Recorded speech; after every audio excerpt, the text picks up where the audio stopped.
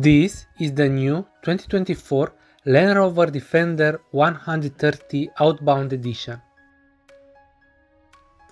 The new SUV is available exclusively in 5-seat configuration and has been designed with a key focus on overland adventures. Important features include a flat load space at the rear as well as a cabin that comes complete with durable rubber floor matting that can be folded out over the rear bumper when loading in heavy objects.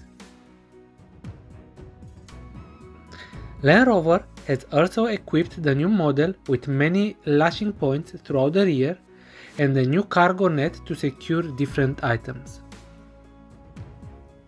It gets a bunch of design tweaks including a Shadow Atlas matte finish for the bumpers and grille insert, while the side vents come in anthracite.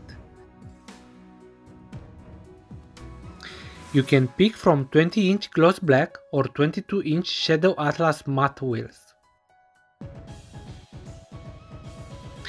Guys, if you like our videos, please subscribe and hit the like button. Thanks.